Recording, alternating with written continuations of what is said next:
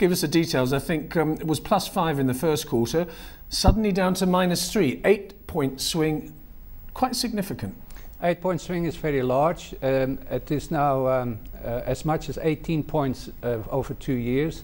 And, and, more significantly, during the quarter, each and every dimension that we ask about population, income, age, gender, um, geographical, everywhere um, there have been drops in, in confidence uh, on, the, on the three questions that we ask. So it is very substantial, very wide ranging.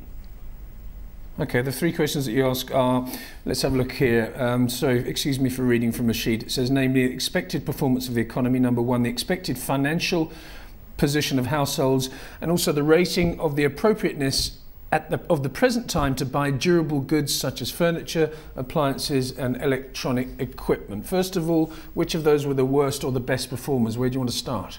Um, well, the, the way um, the consumers look at the economy has deteriorated very significantly, this negative territory.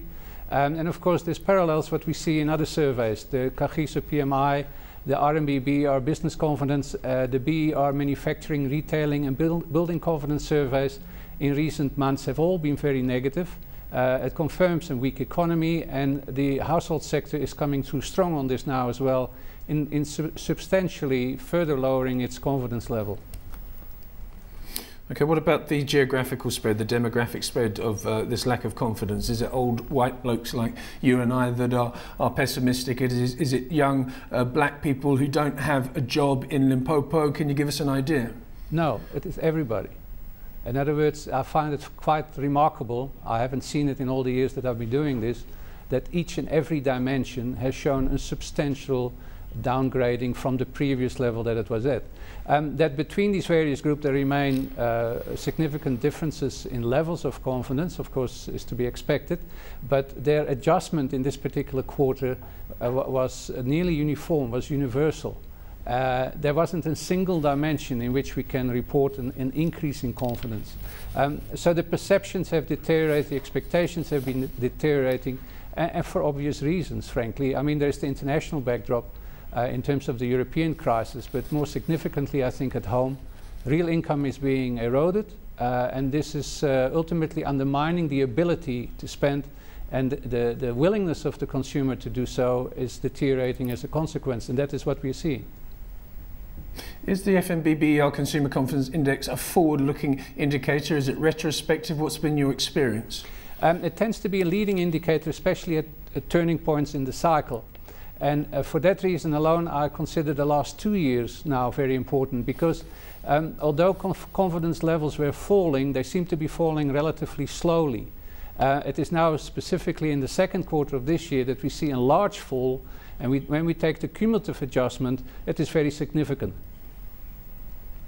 I'm not going to uh, throw in the, the CPI because that wasn't the mandate of this particular interview. But when I see CPI coming down from above six just two or three months ago, quite well above six, and people thinking it was going to go higher, now down five and a half percent year on year, this is also an indication of a lack of demand and a lack of confidence in the economy, wouldn't you say? Yes, but also a falling petrol price.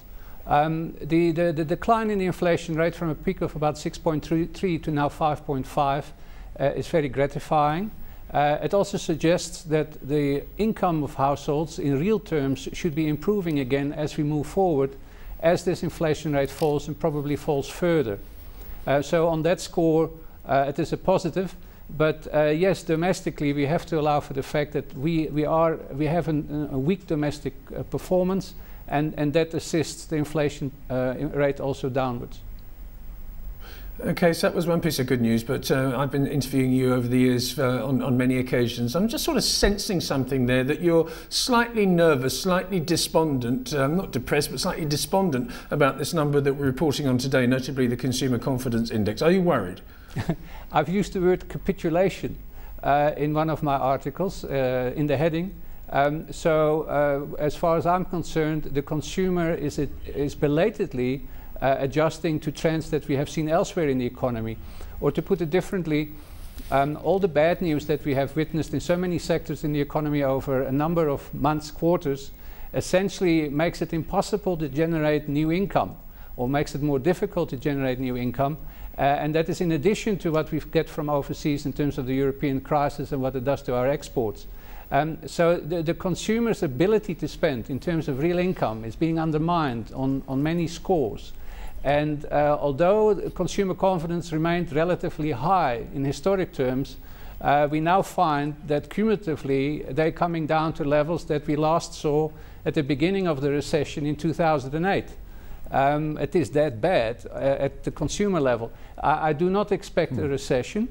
Uh, but that the household sector is significantly adjusting their expectations and their reading of the situation, absolutely.